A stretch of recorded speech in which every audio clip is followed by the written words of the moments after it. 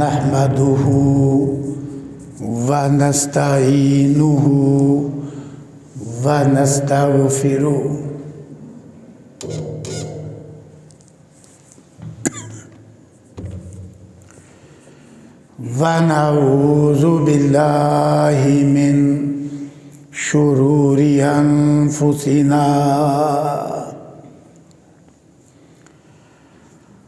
नस्तगफिरु व नऊज़ु बिल्लाहि मिन शुरूरि अनफुसिना वमिन सय्याति अमालिना मैं यहदिल्लाहु फला मुज़िल्ला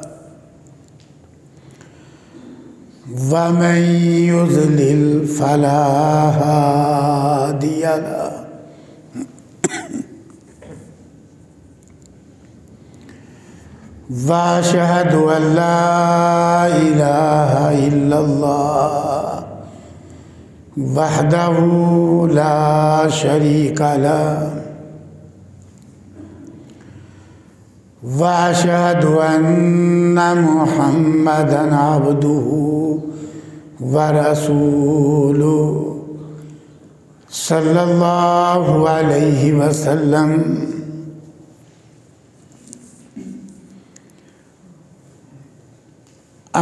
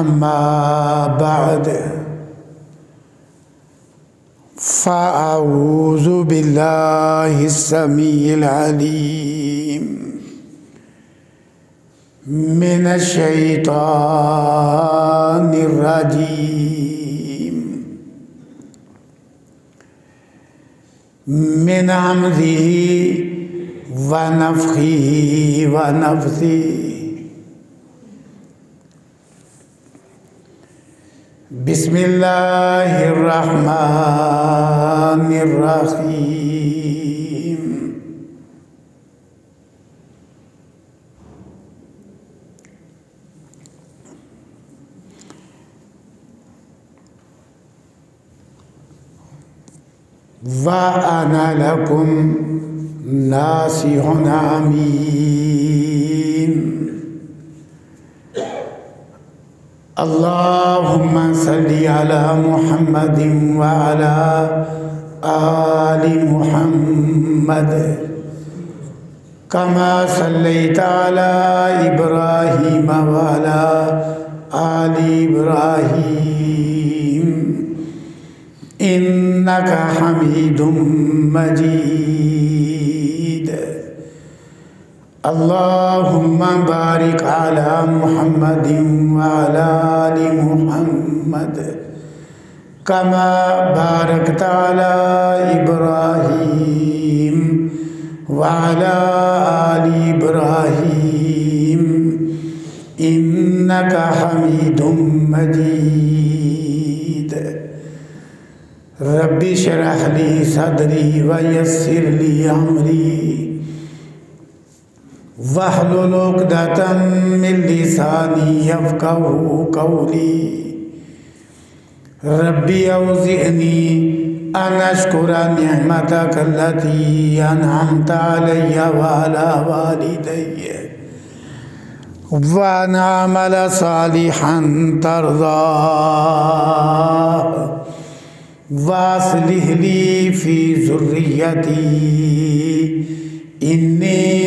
तुबतु इलैका व इन्नी मिनल मुस्लिमीन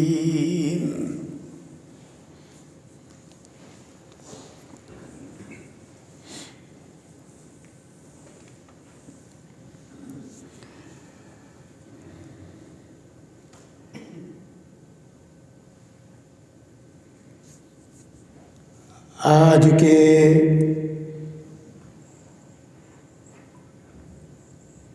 दर्स का उन्वान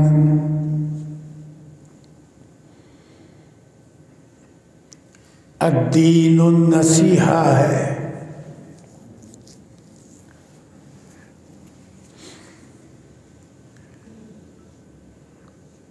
ये उन्वान दरअसल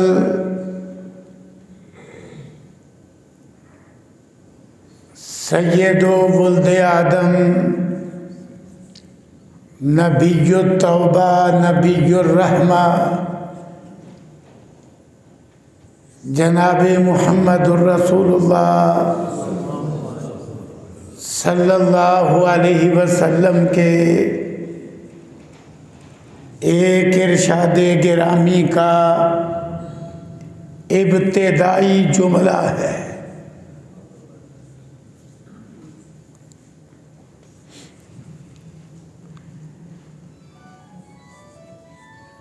सही मुस्लिम में। हज़रत तमीम दारी रज़ी अल्लाह से रवायत है। वो बयान करते हैं कि रसूलुल्लाह सल्लल्लाहु अलैहि वसल्लम ने इरशाद फरमाया अद्दीन नसीहा।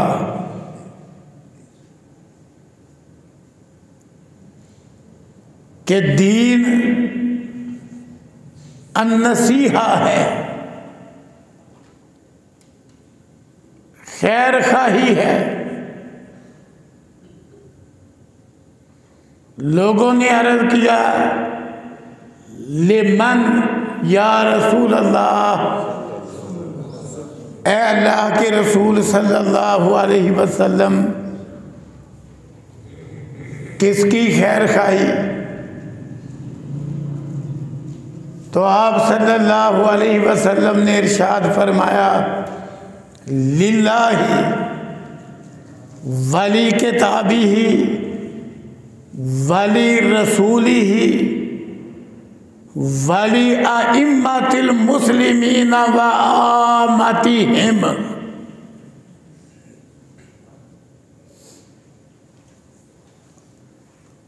अल्लाह के लिए अल्लाह की किताब के लिए, अल्लाह के पैगंबर के लिए, अहले इस्लाम के आइमा अरबाब इकतदार हुक्मरानों के लिए, और आम मुसलमानों के लिए।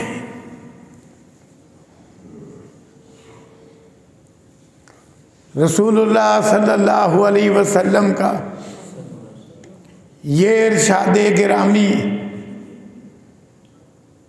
इंतहाई जामे माने है। जिसमें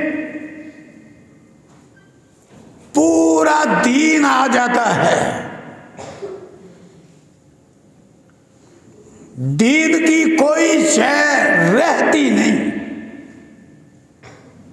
यूँ समझिए,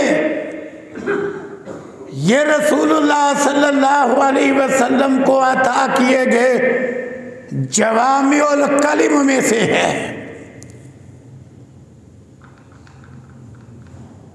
आप सल्लल्लाहु अलैहि वसल्लम को बहुत सारे जवामिल कलिम अता किए गए।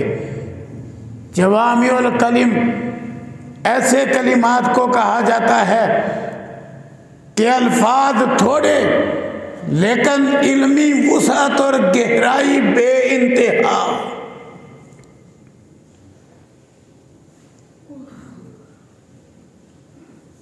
उनमें से ये भी इरशाद गिरामी है। क्या फरमाते हैं अदीन नसीहा दीन खैर खाही है। ये इसका सादा सा तर्जमा है, दीन खैर खाई है। मतलब यह है कि अल्लाह का उतारा हुआ वो दीन जो अल्लाह रब्बुल इज़्ज़त ने आखिरी पैगंबर जनाबे मोहम्मद रसूलुल्लाह सल्लल्लाहु अलैहि वसल्लम पे नाजल फरमाया, जो दीन पहले सबका तमाम अदियान समाविया में सबसे कामिल अकमल और मुकम्मल है, वो दीन सारे का सारा खैर खाई पर मबनी है। अदीन नसीहा।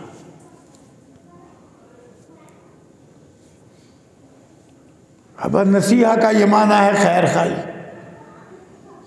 खैर खाई क्या होती है?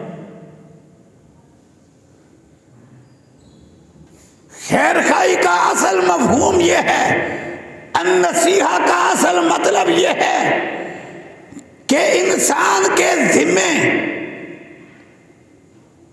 जितने हकूक हैं वो अल्लाह के हकूक हैं, अल्लाह की किताब के हकूक हैं, अल्लाह के पैगंबर के हकूक हैं। मुस्लिम हुक्मरानों के हकूक हैं। मुस्लिम अवामनास के हकूक हैं। दीन उन तमाम हकूक की बजा आवरी और अदायगी का हुक्म देता है। यह है अदीन नसीहा। और लफ्ज नसीहा में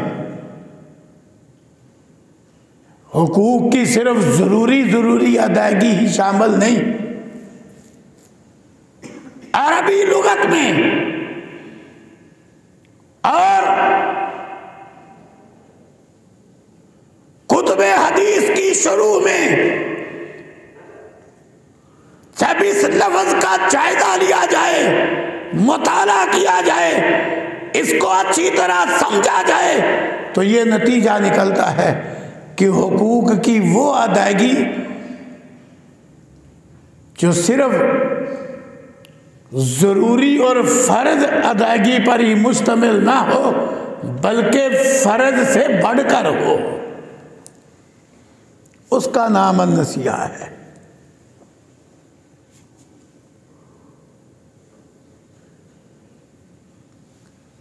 अब रसूलुल्लाह सल्लल्लाहु अलैहि वसल्लम ने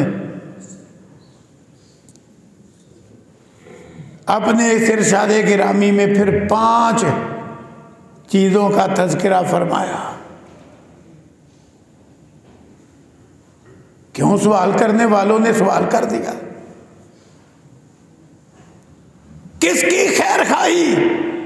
किसके हकूक की अदायगी दीन है? आपने सबसे पहले फरमाया, लिल्ला। अल्लाह के हकूक की अदायगी। यहाँ सबसे पहले एक बात समझ लें आज दुनिया में एक बोल बोला जाता है। बड़े बड़े कलमा पढ़ने वाले बोलते हैं। कहते हैं, जी हुकूकुल्ला की तो खैर है हुकूकुल इबाद की माफ़ी नहीं। ये बोल आपने भी सुना होगा, बड़े लोग बोलते हुकूकुल्ला की तो खैर है। हुकूकुल इबाद की माफ़ी नहीं। ये बोल ना किसी आयत का तर्जमा है, ना किसी हदीस का मफहूम है। कुरान करीम में भी अल्लाह रब्बुल इज़्ज़त ने सबसे पहले और सबसे ज़्यादा अपना हक बयान किया है। और रसूलुल्लाह सल्लल्लाहु अलैहि वसल्लम ने भी अपने इस इरशाद गिरामी में सबसे पहले अल्लाह का हक बयान किया। जब लोगों ने पूछा, किसके हकूक की अदायगी? दीन है अदीन नसीहा लेमन तो आपने फरमाया बिल्ला सबसे पहले अल्लाह के हुकूक की अदायगी।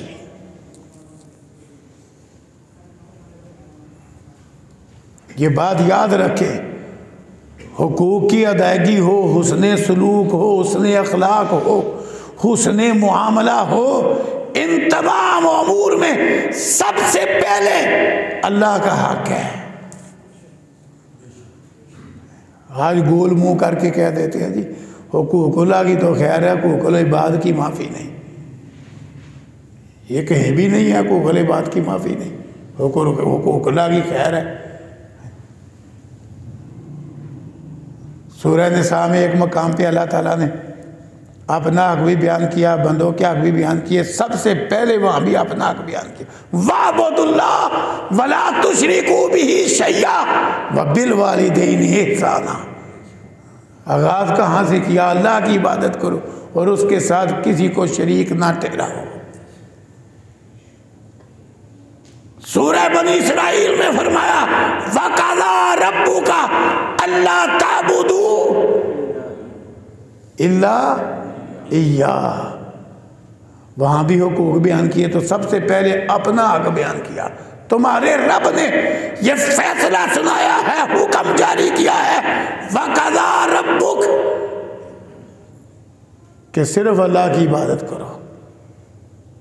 ये अल्लाह का हक है और सब पर मुकदम है।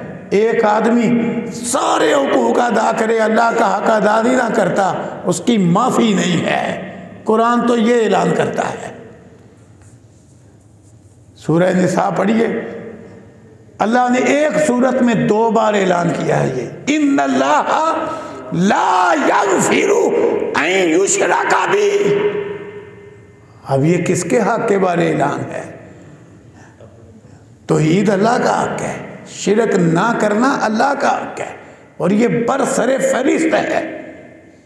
इसकी अदायगी के बगैर बाकी सारे हकूक मच्छर के पर के बराबर भी नहीं। ये याद रखें। इसलिए खाम का क्या देते हो जी, अल्लाह के हक की खैर है, हकूक बात की माफ़ी नहीं। हकूक बात तो बनते ही इस वजह से है कि अल्लाह ने बनाए हैं। अगर एक हक को ना ये मेरा हक है, लेकिन वो ना कुरान से साबित हो, ना दी से साबित हो तो वो मेरा कोई हक नहीं। बंदे की क्या हैसियत है? अल्लाह ने अपना हक बयान करने के बाद सबसे बड़ा हक माँ बाप का बयान किया है। लेकिन माँ बाप का हक बयान करके भी क्या फरमाया? कि अगर माँ बाप भी तुझे शिरक का हुक्म दे तो उनकी इतात तो बड़ा हक फिर किसका हुआ जी? अल्लाह ताला का। और मैं खबरदार, फला तो ती हुमान नहीं एतात करना। हाँ दुनियावी उमूर में उनके साथ रवादारी, उसने सलूक करो, लेकिन माँ बाप के कहने पे भी शिरक नहीं करना। अल्लाह की नाफरमानी नहीं करना। तो बड़ा हक किसका हुआ? अल्लाह ताला का। माँ बाप का हक तो तब है कि अल्लाह ने बनाया है। तो इसलिए रसूलुल्लाह सल्लल्लाहु अलैहि वसल्लम ने भी अपने इस जाम इरशाद गिरामी में क्या फरमाया? दीन नसिया दीन हकूक की अदायगी का नाम है। सबसे पहले किसका हक अदा करना है? जब लोगों ने पूछा तो फरमाया लिल्ला अल्लाह के हकूक अदा करना है सबसे पहले। अब मोटे मोटे अल्लाह के हकूक क्या है? पाँच चीज़ों की वजाहत करना है। बिल इख्तसार कोशिश करूँगा। सबसे पहले लीला अल्लाह के हकूक़। वो अल्लाह का पहला हक ये है कि अल्लाह पर सही ईमान रखा जाए, जो ईमान कुरान और सुन्नत में समझाया गया है। सिर्फ़ ये नहीं कि अल्लाह है, ये तो यहूदी भी कहते हैं अल्लाह है दसरानी भी कहते हैं अल्लाह है। और भी बहुत सारे काफर और मुशरक अल्लाह के वजूद के मोतरफ हैं, मानते हैं। लेकिन सिर्फ़ इतने से बात नहीं बनेगी। अल्लाह पर ईमान। दुरुस्त ईमान। किस तरह का ईमान? जिस तरह का ईमान कुरान और सुन्नत में बतलाया गया है कि अल्लाह को उसकी साथ में, उसकी सिफात में, उसके असमा में, उसके हकूक में, उसके इख्तियार में अकेला माना जाए। अकेला माना जाए। और कुरान करीम के मुताबिक उसे अरश पे मुस्तवी तस्लीम किया जाए। कितने ही लोग हैं, कलमा भी पढ़ते हैं, अल्लाह पर ईमान का दावा भी रखते हैं, लेकिन अल्लाह को उसकी ज़ात में, सिफात में, हकूक़ में इख्तियार में अकेला नहीं मानते, उसे अरश पे मुस्तवी नहीं मानते। मैंने बकायदा अपने बोला कि एक कौमी अखबार में एक मजमून निगार का मजमून पढ़ा कि वो साहब कहते हैं, अल्लाह तो ना अरश पे है, ना फर्श पे है। ना ऊपर है, ना नीचे है, ना दाया है ना पाया है ना आगे है, ना पीछे है, इसका तो मतलब हुआ फिर है ही नहीं।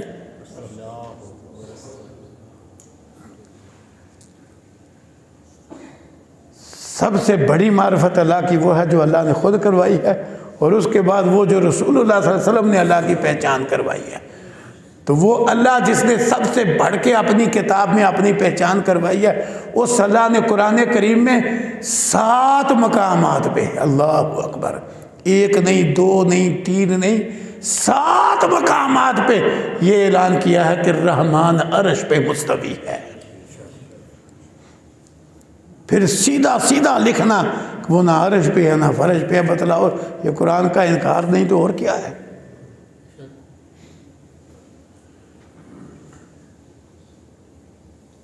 तो इसलिए अल्लाह पर वो ईमान जो कुरान सुनने में बतलाया गया है, ये अल्लाह का हक है कि अल्लाह को उसकी ज़ात में, सिफात में, असमा में इख्तियार में, हकूक़ में अकेला मानना और उसको अरश पे मुस्तवी मानना।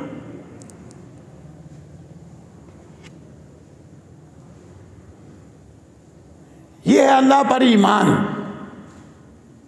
और किसी को कायनात में से किसी को अल्लाह के बराबर, अल्लाह का हम पल्ला, हम सर, अल्लाह का शरीक तस्लीम ना करना। ये दुरुस्त ईमान अल्लाह का हक है, जिसकी अदायगी के बगैर बाकी सारे हकूक की बजावरी मच्छर के पर के बराबर भी नहीं। याद रखिए, क्यों ये अल्लाह ने कुरान में ऐलान किया है? एक तो दो बार ये ऐलान किया, अल्लाह ने शिरक माफ़ नहीं करना। दूसरा ये ऐलान किया है कि जिसने शिरक किया, उसके सारे अमल बर्बाद।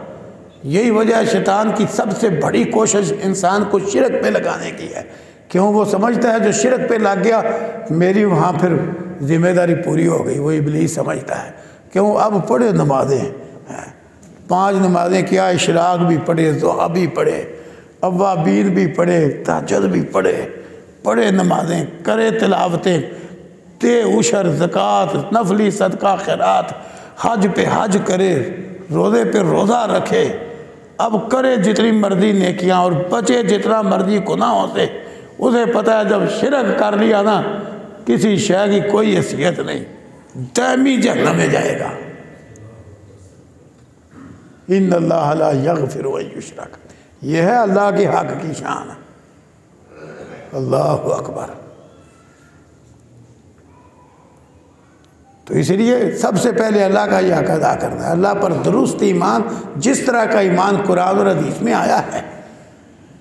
रसूलुल्लाह वसल्लम ने हज़रत मुआज रज़ी अल्लाह को यमन भेजा। यमन के लोग अल्लाह के वजूद के मोतरफ थे, अल्लाह को मानते थे। लेकिन क्या फरमाया आपने?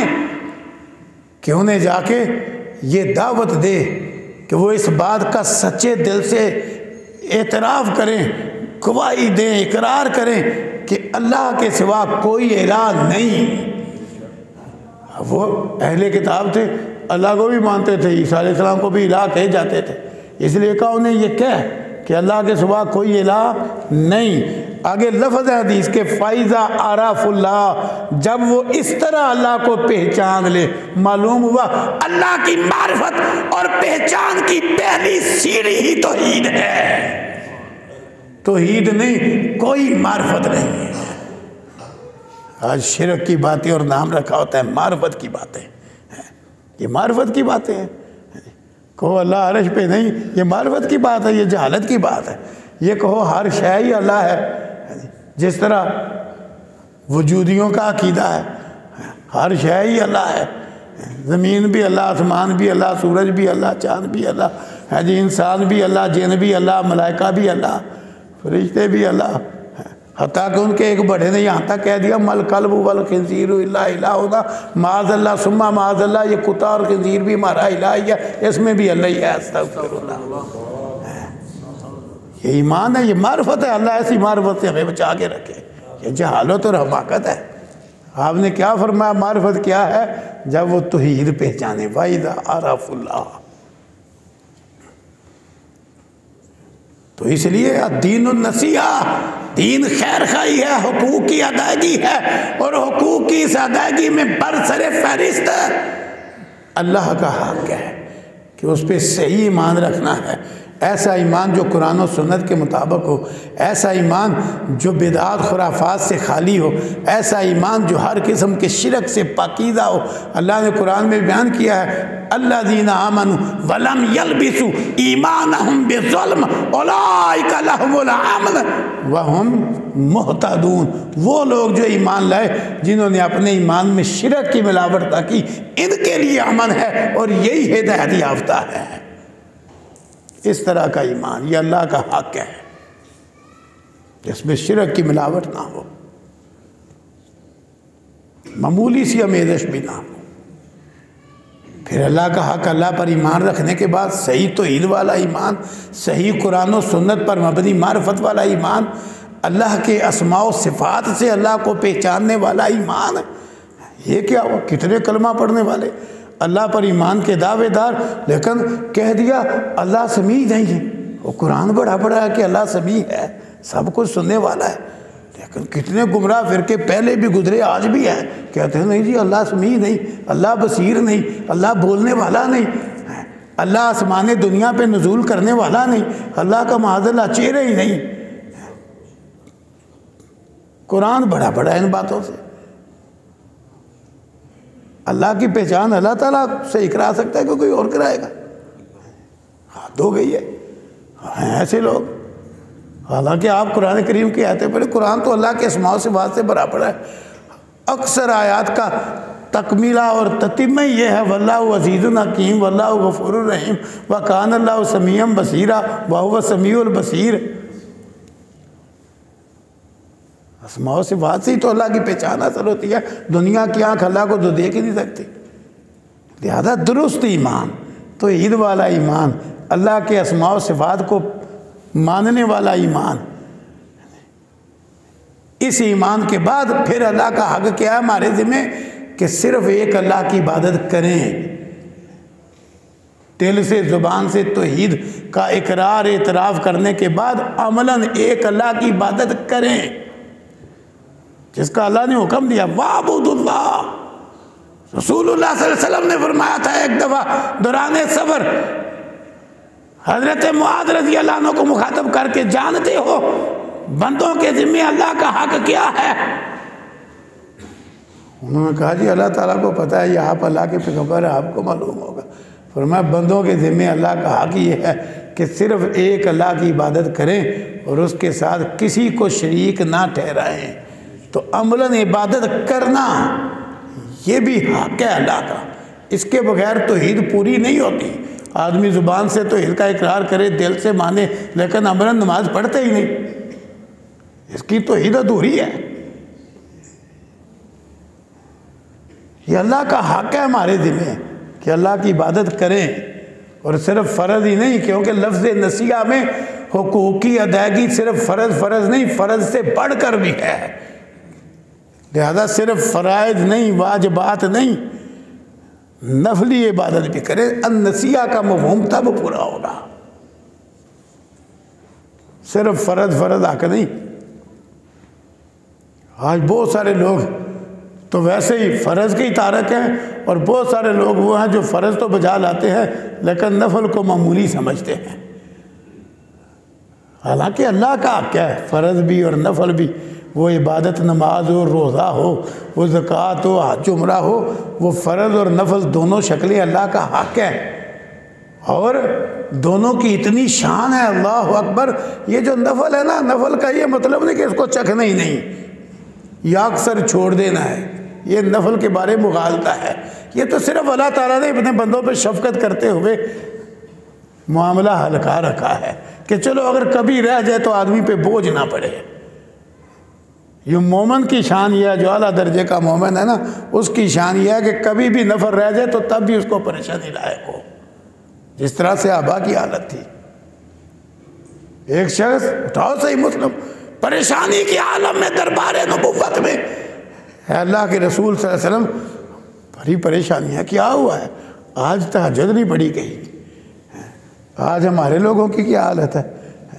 फ़र्ज़ नमाज़ रह जाए तो कोई परेशानी नहीं। सर पे जूँ भी नहीं रेंगती। कितने लोग हैं, चार नमाजें पढ़ते हैं और फजर ज़्यादा ही बगैर जमात के पढ़ते हैं। लेट पढ़ते हैं। और उन्हें कोई परेशानी नहीं, परवाह नहीं। वो भी इंसान ही थे। कि एक रात उसकी तहजद रह गई और वो बेकरार हो गया। ये हाल चाहिए इसका। मेरी तहजद रह गई आज। वो कमी पूरी करना चाह रहा है। अल्लाह अकबर। तो रसूल वसल्लम ने फिर उसकी परेशानी देख के हाल बतलाया। आपने फरमाया, जितना तेरा रात का हिस्सा है, अगर कभी रह जाए तो सुबह सूरज तुलू होने के बाद से लेके ज़ोर तक जितना वक़्त है ना, इसके अंदर अंदर वो पढ़ ले, उतना ही अजर मिल जाएगा जितना रात को पढ़ने का है। आपने हाल निकाला। क्यों उसको परेशानी हो गई थी? सिर्फ़ ये फ़र्क है कि रात की नमाज़ रात में पढ़ी जाए तो ताक है। लेकिन जब वो इस शक्ल में अदा की जाए, रात को रह गई है तो फिर जुफ्त है। ग्यारह की बारह रखते पड़ेंगे। लेकिन नज़र रात वाला मिल जाएगा, अगर कभी छूट जाए। और आदमी ये इस हाल पे अमल करे ना तो बेहमदिल्ला रफ्ता रफ्ता छूटने वाला काम ही ख़त्म हो जाता है। जब आदमी हाल इख्तियार कर ले। तो इसलिए अल्लाह का हक इस तरह कि सिर्फ़ फ़राइज नहीं, साथ नवाफल भी क्यों? उठाओ सैल बुखारी, हदीस कुदसी है। हज़रत अबू रज़ी रावी हैं। रसूलुल्लाह वसल्लम ने फरमाया, अल्लाह फरमाते हैं, कोई बंदा किसी तरीके से मेरा उतना कुरब हासिल नहीं कर सकता, जितना उन फ़राइज के ज़रिए हासिल कर सकता है जो मैंने उस पर नाफज किए हैं। तो फ़राइज के ज़रिए अल्लाह का कुरब मिलता है। क्यों? जब अल्लाह का हक फ़राइज वाला अदा किया जाए तो अल्लाह का कुरब मिलता है। साथ फरमाया, और अगर बंदा फ़राइज के साथ साथ नवाफल के ज़रिए भी मेरा कुरब तलाश करने लग जाए, ये रसूल वसल्लम फरमाते हैं, अल्लाह फरमा रहे हैं। हदीस को है कि अगर मेरा बंदा फ़राइज के साथ साथ नवाफल के ज़रिए भी मेरा कुरब तलाश करने लग जाए अहबब तू हूँ अहबब तू हूँ मैं फिर अपने उस बंदे से प्यार करने लग जाता हूँ। छोटी शान ही नफल की। आज अमल बयान करो तो लोग, पहला सवाल ही करते हैं, फ़र्ज़ है कि नफल है? कहो ना, नफल है तो जितनी मर्ज़ी फजीलत बयान करो ना, उसी जा कपड़े झाड़ के, चलो फिर खैर है, नफल ही है। कोई नहीं, ज़रूरत है। छोटी शान है ये।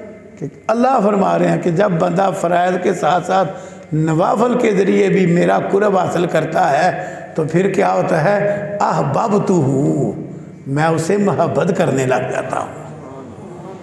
वो फ़र्ज़ के ज़रिए अल्लाह का कुरब मिलता है, नफल के ज़रिए अल्लाह की मोहब्बत मिलती है। जो पैगंबर वसल्लम दीन लेके आए, आपको नहीं पता था ये नफल है। लेकिन आपने क्यों पूरी ज़िंदगी रात को तहजद नहीं छोड़ी?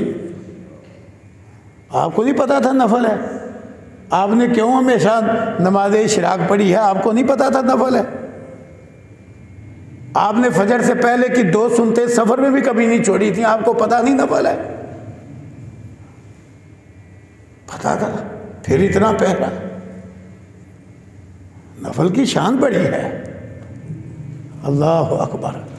तो इसलिए ये जो है ना दीन और नसीहा, दीन खैर खाई है, यानी हकूक अदा करने का नाम है और सबसे पहले अल्लाह का हक पर किस तरीके से अल्लाह का हक अदा करना है कि सिर्फ़ फ़र्ज़ नहीं, साथ नफली शक्ल भी हो। नमाज़ है तो फ़र्ज़ के साथ नफल भी हो, रोज़ा है तो रमज़ान के फ़र्ज़ रोज़ों के साथ नफल भी हो, ज़क़़त है तो फ़र्ज़ ज़क़़त और रुशर के साथ नफली सदका खैरात भी हो। ये है अदीन नसीहा। अल्लाह का हक सबसे पहले और फ़र्ज़ के साथ साथ इजाफी, नफली इबादत की शक्ल में भी।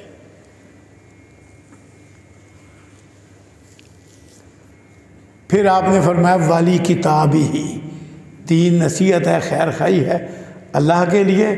और फिर आपने क्या फरमाया, अल्लाह की किताब के लिए, वाली किताबी ही, अल्लाह की किताब के लिए। मतलब ये है कि दीन ये भी सिखलाता है कि बंदा अल्लाह की किताब के हुकूक अदा करे। अल्लाह की किताब के भी हुकूक हैं। पहला हक, अल्लाह की किताब पे दुरुस्त ईमान। कि कुरान करीम अल्लाह की वो किताब है जो अल्लाह ताला ने आखिरी पैगंबर जनाब मोहम्मद रसूलुल्लाह सल्लल्लाहु अलैहि वसल्लम पे नादल फरमाई। आखिरी किताब है। और इसकी हिफाजत का अल्लाह ने ज़िम्मा उठाया है। ये जिस तरह अल्लाह ने उतारी है, उसी तरह आज तक मफूद है, क़्यामत तक मफूद रहेगी। ये कुरान करीम पर ईमान में शामिल है और इसी तरह ये बात भी शामिल है कि अल्लाह ताला ने इस किताब को पैदा नहीं किया, बल्कि अल्लाह ने बोल के कलाम किया है। अल्लाह ने कलाम किया। जबरील ने सुना। जबरील ने सुनकर जनाब मोहम्मद रसूलुल्लाह को पढ़ के सुनाया। जनाब मोहम्मद रसूलुल्लाह सल्लल्लाहु अलैहि वसल्लम ने जिस तरह जबरील से सुना, उसी तरह आगे उम्मत को सुनाया। ये अल्लाह ने कलाम फरमाया है। यही वजह हमारे पुराने सलफ सालहीन बड़े बड़े आइमा मुहदसिन ने बड़ी मार खाई है इस मसले पर। कि लोग कहते थे, कुरान जिस तरह ज़मीन अल्लाह की मखलूक है, आसमान अल्लाह की मखलूक है, कुरान भी अल्लाह की मखलूक है। लेकिन बड़े बड़े मुहदसिन ने, इमाम अहमद बिन हम्बल रहे, मौला जैसों ने मार खाई कि नहीं, ये मखलूक नहीं। ये क्या है? ये अल्लाह का कलाम है, अल्लाह ने बोला है। इससे शान बढ़ती है। मखलूक कहने से कुरान का शाम कम हो जाता और वो कम करना चाहते थे। अल्लाह ने कहा, नहीं अल्लाह का कलाम है, अल्लाह ने बोला है। अल्लाह अकबर। तो कुरान पर ईमान रखने के बाद दूसरा हक, इसको सीखना, अल्फाज सीखना भी, खा देख के पढ़ना आए और खा ज़ुबानी पढ़ना आए ये भी कुरान करीम का फिर दूसरा हक है ईमान के बाद, कि ये पढ़ना आए खा देख के पढ़ना है, खा ज़ुबानी पढ़ना है, पर पढ़ना आए अच्छे तलफ़ के साथ जितनी इंसान की इस्तात है, अच्छे तलफ़ के साथ, अच्छी अदायगी के साथ पढ़ना आए खा देख के पढ़ना है, खा ज़ुबानी याद कर ले आदमी। क्यों? तलावत फिर इसका हक है। तो वो ज़ुबानी याद करने से यह हक अदा होगा, या देख कर पढ़ने से हक अदा होगा। क्यों अल्लाह ने हुक्म दिया होगा कुरान का? हक है कि इसको पढ़ा जाए, इसकी तलावत की जाए। फिर पढ़ने के बाद तीसरा हक इसको समझना है कि पता चले ये किताब हमें क्या कह रही है। इसका तर्जमा पढ़ो, इसकी तफसीर पढ़ो। इसके फिर कई दर्जात हैं। तर्जमा तफसीर से भी बड़ा दर्जा के फिर साथ तदब्र तफक्र करो।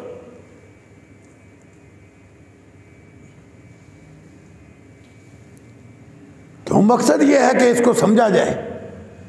जा जा, कुरान में यह हक बयान हुआ है कि हमने ये किताब इसलिए उतारी है कि इसको समझो इससे नसीहत कबूल करो। फिर चौथा हक है समझने के बाद कि इस पर अमल किया जाए। अकीदा, अमल, अखलाक, किरदार, मामलात, खुशी कभी सारा कुछ इस किताब के मुताबिक हो। पांचवा हक, इसको फिर आगे भी पहुँचाया जाए। अल्लाह ने जो फरमाया ना या तो लूना हुआ का तिलावती वो इसको पढ़ते हैं, जिस तरह पढ़ने का हक है, ये वही लोग हैं, ये जो सारे हकूक अदा करें।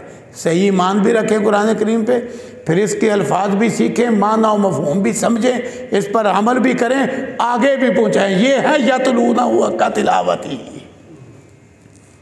तो ये है वाली किताबी, कि दीन नसीहत है, खैर खाई है, हकूक़ की अदायगी है, अल्लाह के हकूक़ की अदायगी, और अल्लाह के बाद अल्लाह की किताब के हकूक़ की अदायगी।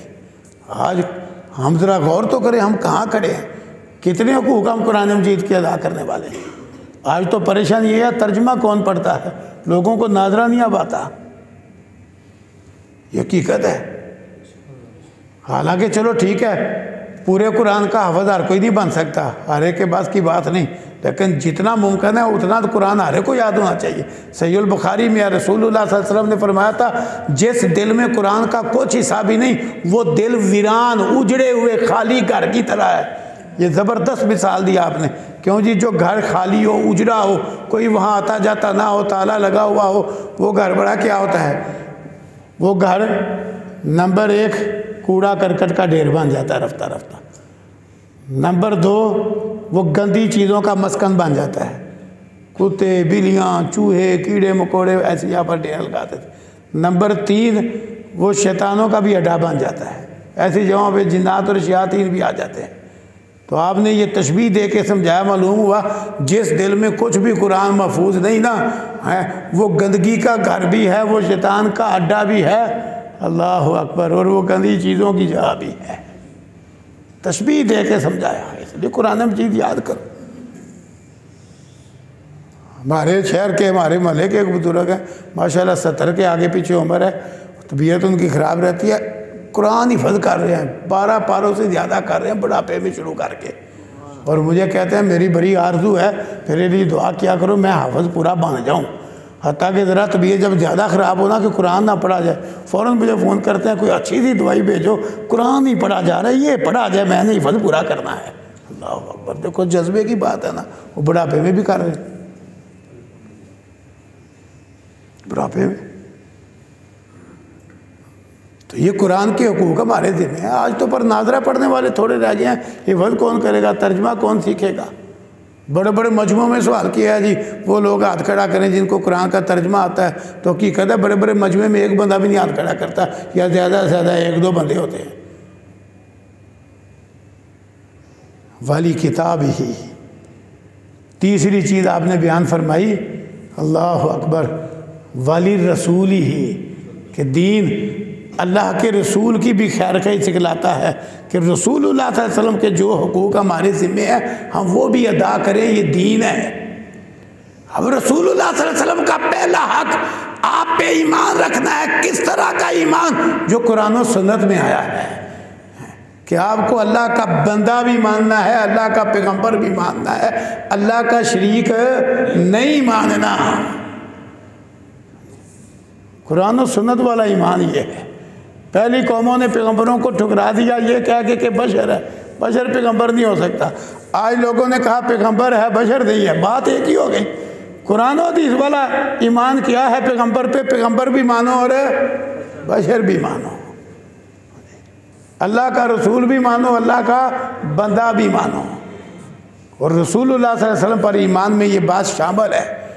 कि आपको आखिरी पैगंबर माना जाए, अकीद ख़त्म नबूत के बगैर पैगंबर वसल्लम का हक अदा नहीं होगा। यह अकीदा कुरान में भी आपके बारे बयान हुआ है, हदीस की किताबों में तो बड़ी कसरत से बयान हुआ है। यह ऐसा अकीदा है कि जिसने इस पर ज़रब लगाई, देखो, है, आज लोग बड़े खुश होकर यूँ बयान कर देते हैं, लो जी गैर मुस्लिम अकलीत करार दरवा लिया मिर्दाइयों कादियानियों को। ठीक है, चलो, खुशी की बात है, इतनी हद तक भी। लेकिन अगर रसूल वसल्लम का तरीका सीखे ना रसूल वसल्लम ने यहूदियों को जिजिया लेके बर्दाश्त कर लिया। भाई, तस्वीर नहीं बनाना। इसको ख़त्म करो अगर बनाइए तो। नसरानियों को जिजिया लेके बर्दाश्त कर दिया। जिजिया लेके। मजूसियों को जिजिया लेके बर्दाश्त कर दिया। लेकिन रसूल वसल्लम ने ख़त्म तो नबूत के मुनकर मुसलमा कज़ाब को, असवदंसी को, इस जैसे किसी को और उसके किसी पैरोकार को वक्ती तौर पे भी जिदिया लेके बर्दाश्त नहीं किया। इनके खिलाफ किताल का हुक्म दिया आपने। यह इतना ज़बरदस्त अकीदा है ख़त्म नबूत ताकि वो वाशी जिसने कुफर के ज़माने में हज़रत हमजा रज़ी रसूल वसलम के जो चचा थे, उन्हें शहीद किया था ना तो बाद में जब मुसलमा के ख़िलाफ़ किताल हुआ, उसी वाशी ने यह अज़म किया कि मैंने जहाँ एक तरफ़ ये बहुत बड़े मोमन की शहादत का अपने ऊपर धबा लगवाया है ना, अब मैंने उसके मुकाबल उस पले का कोई कारनामा भी करना है तो उस जंग में मुसलमा कज़ाब को फिर वाशी ने कत्ल किया। और समझा के चलो कुछ कर्ज उतर जाएगा। अल्लाह अकबर। की दे ख़त्म नबूत कोई छोटी बात नहीं। बहुत बड़ी बात है। तो इसलिए आखिरी पैगंबर मानना ये रसूल वसल्लम का वो हक है जो हमारे ज़िम्मे है। फिर इसी तरह आप पर ईमान में ये बात भी शामिल है कि आपकी हर हदीस और सुन्नत जो सही सबूत के साथ हम तक पहुँची है, हम उसको भी हक और सच माने। बहाने बहाने से हदीसें ना टुकराएँ ईमान खराब हो जाएगा सारा। पैगंबर का हक नहीं अदा होगा। आज काफरों के अकवाल हैं, अकवाल जर्री के नाम पे कौमी अखबार पे छपते हैं, काफरों के अकवाल हैं। लेकिन कलमा पढ़ने वालों में ऐसे फितने पैदा हो गए और ऐसे फिरके आ गए कि जो कहते हैं जी नहीं जी पैगंबर वसल्लम की हदीस की तो कोई हैसियत ही नहीं है माजल्ला वो कुफार के जो बड़े हैं, उनकी अकवाल तुम सुनहरी रूफ के साथ लिख के उनको अकवाल जर्री को और पैगंबर वसल्लम की हदीस और सुनत का मिलाप उड़ाओ। ये पैगंबर की कोई खैर खाई नहीं, ना आपके हकूक़ की अदायगी है।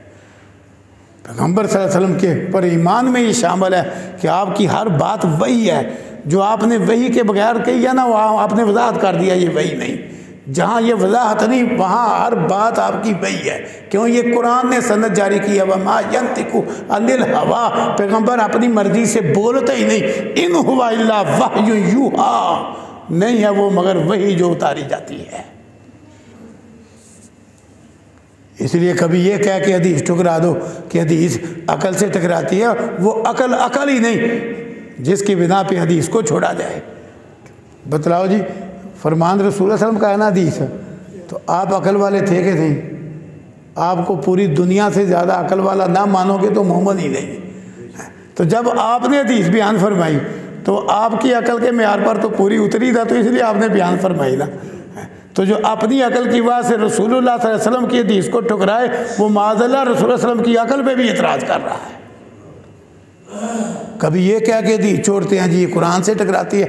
एक से हदीस भी कुरान से नहीं टकराती। दिमाग में टकराव होता है, समझ में फ़र्क होता है। कभी ये क्या के हदीस टकराते हैं जी साइंस से टकरा रही है? और साइंस तो खुद साइंस से टकराती है।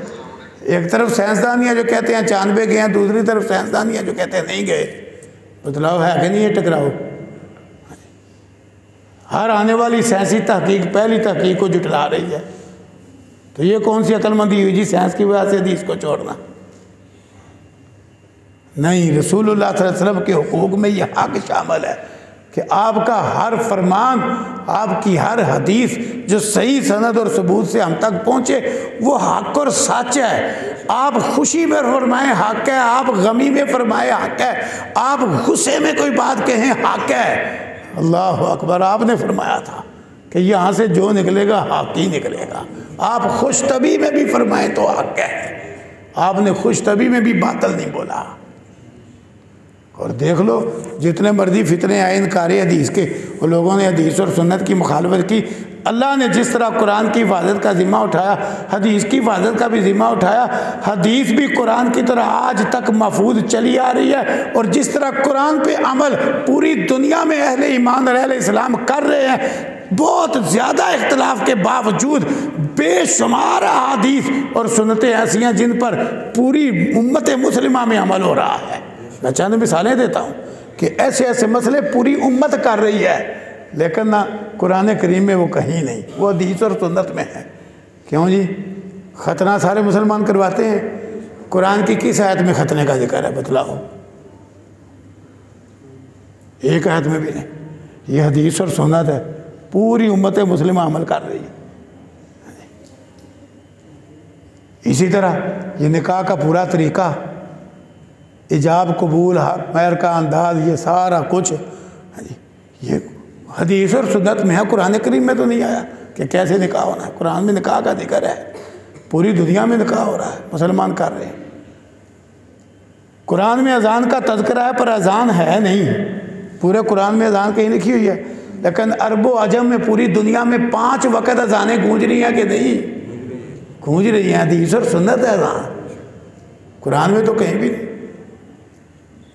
इसी तरह नमाज़, कुरान में नमाज़ का तस्करा है। फजर की दो रखते कुरान में हैं ज़ोर के चार फ़र्ज़ कुरान में हैं, असर के चार फ़र्ज़ कुरान में हैं, मगरब के तीन फ़र्ज़ कुरान में हैं शाह के फिर चार फ़र्ज़ कुरान में हैं, फिर नमाज़ की ये तरतीब, अल्लाह अकबर, तहरीम तहरीम, तकबीर, तहरीमा से आगाज़, फिर क्याम, फिर रुकू, फिर कौमा, फिर सजदा, फिर जलसा बीन सजदा तीन फिर दूसरी रकत, दो रकतों के बाद तशहद आखिरी रकत में भी तशहद पूरी दुनिया की उम्मत मुसलमा, हनफी, शाफी, अबली, मालकी, अहल हदीस खैर अहल हदीस, सारे इसी तरतीब से नमाज़ पढ़ रहे हैं। कुरान की एक आयत में नहीं, हदीस और सुन्नत है।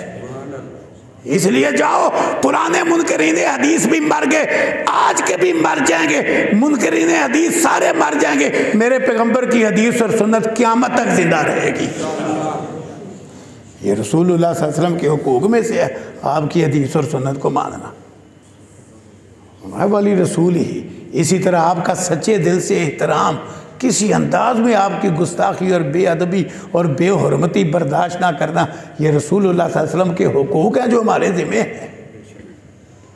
और फिर सिर्फ़ मोहब्बत नहीं, ऐसी मोहब्बत, अल्लाह अकबर, ऐसी मोहब्बत जो माँ बाप की मोहब्बत से ज़्यादा हो बीवी बच्चों की मोहब्बत से ज़्यादा हो, पूरी दुनिया के इंसानों की मोहब्बत से ज़्यादा हो।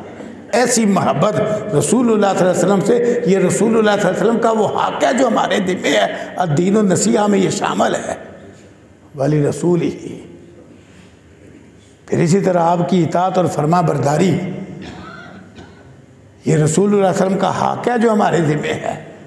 जो ये हक अदा नहीं करेगा, कुरान बयान करता है, फल यदीना यो खालिफूना नमरी जो पैगंबर के हुक्म की मुखालफत करते हैं, वो दो बातों से डरें। या किसी फितने में मुबतला होंगे, या दर्दनाक अदाब आएगा।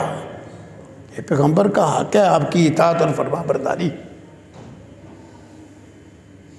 और इसी तरह ये भी हक सिर्फ़ ज़रूरी ज़रूरी नहीं, बल्कि इजाफी तौर पे भी अदा करना इजाफी क्या है?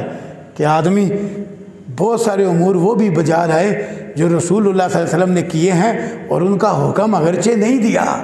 लेकिन इसलिए करे कि ये मेरे पैगंबर ने किया। मैं एक मिसाल देता हूँ। हज़रत अनस बिन मालिक रज़ी अल्लाह बयान करते हैं कि एक दर्दी, उसने रसूल वसल्लम की दावत पकाई। दावत में उसने गोश्त के टुकड़े, शोरबे वाले गोश्त के टुकड़े और कद्दू की काशें पकाई। रसूल वसल्लम चुन चुन के कद्दू खा रहे थे। मैं भी फिर चुन चुन के आगे करता था। हज़रत हज़रत कहते हैं, उस दिन से मैं कद्दू पसंद करने लग गया हूँ, कि रसूल वसल्लम ने पसंद किया। हालाँकि पूरे ज़ख़ीरे हदीस में एक हदीस भी नहीं, जो कद्दू की फजीलत के बारे हो।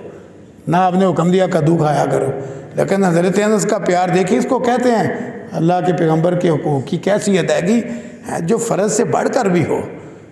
कि देखा कि आपने पसंद किया है, बल्कि सही मुस्लिम की हदीस के लफ्ज़ हैं उस दिन के बाद हज़रत अनस ने जो सालन भी पकाया है, सालन जो भी पकाया सही मुस्लिम में है, उसमें कद्दू ज़रूर डाला है।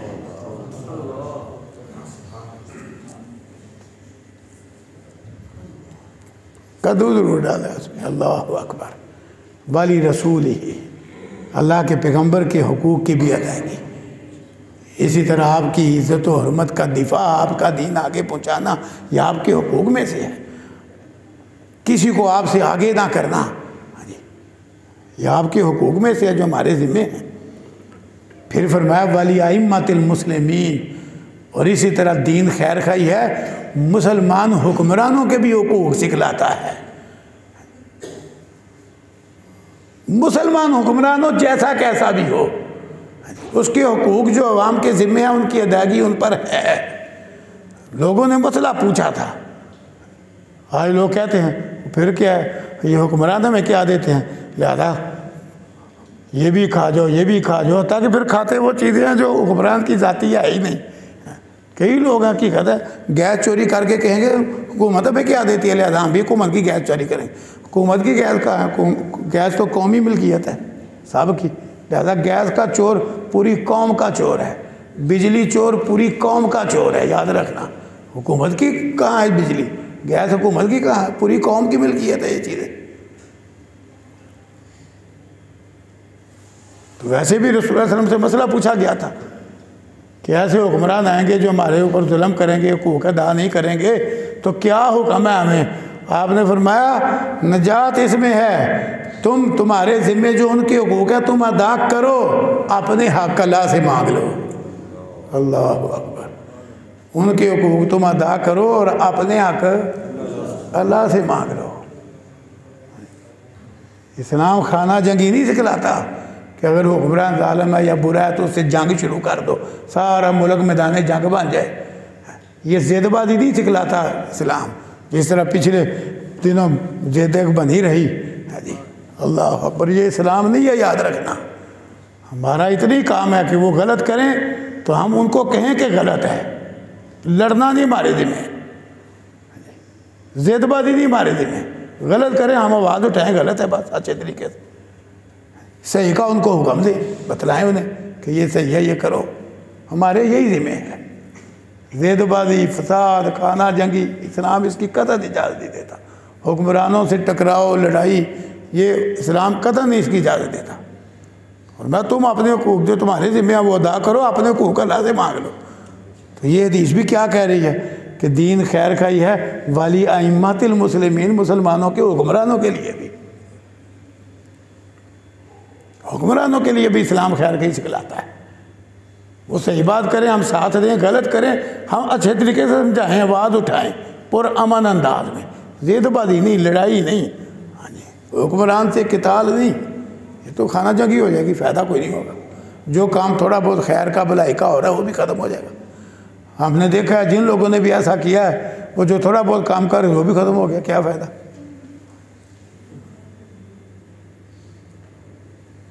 फिर फरमाया व आमती हिम पाँच चीज़ों में सारा दीन आ गया है। फरमाया, मुसलमान अवाम के साथ भी खैर खाई। ये इस्लाम सिखलाता है कि आपस में भी अवामनास एक दूसरे की खैर कही करें, एक दूसरे के हकूक़ अदा करें। आमा में सारा कुछ आ गया हाँ।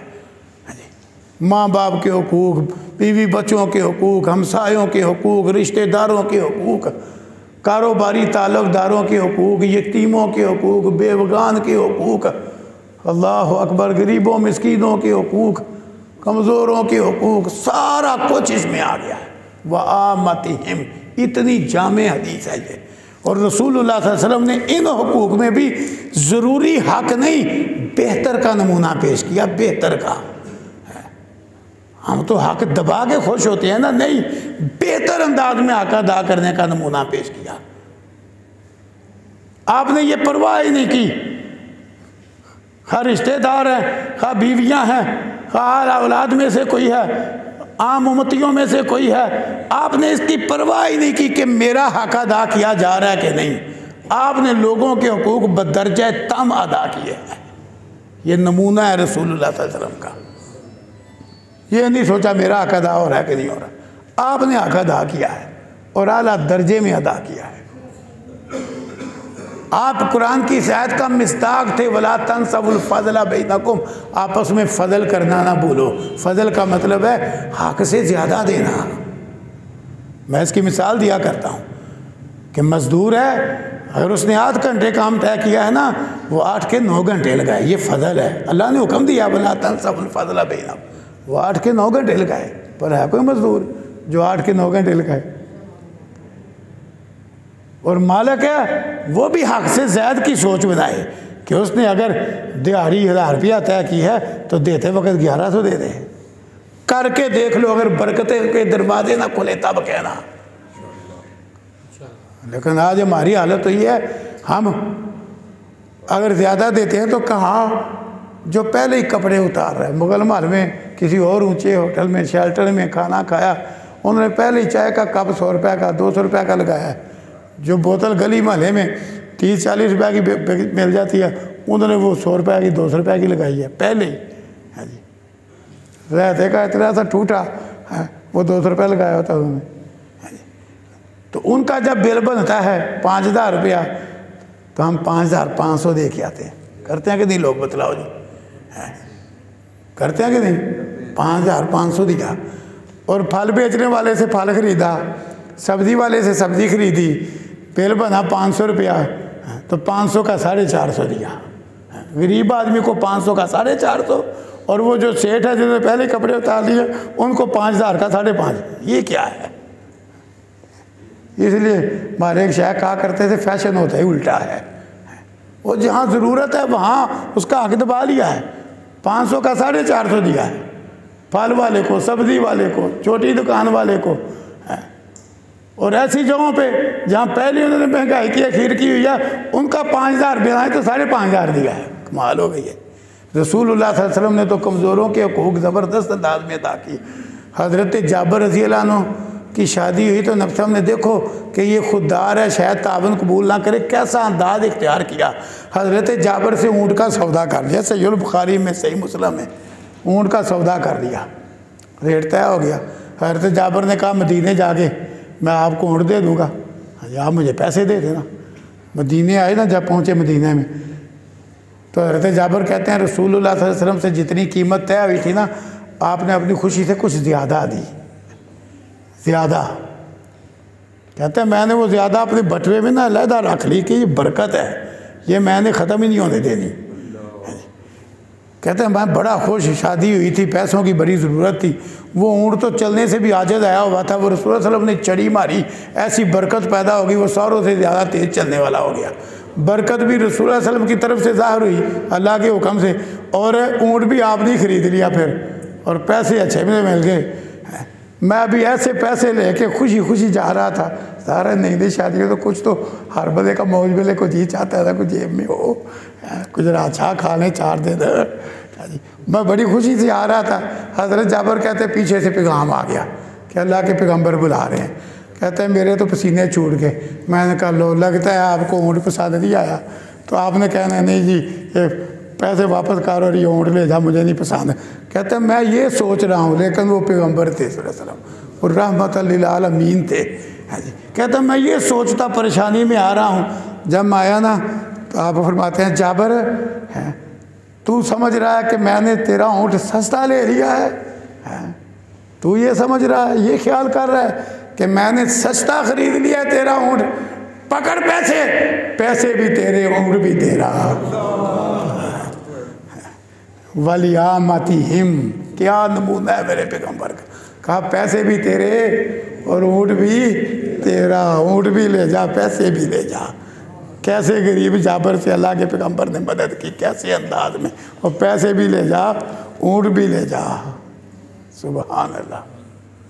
तो इसलिए ये है दीन नसीहा।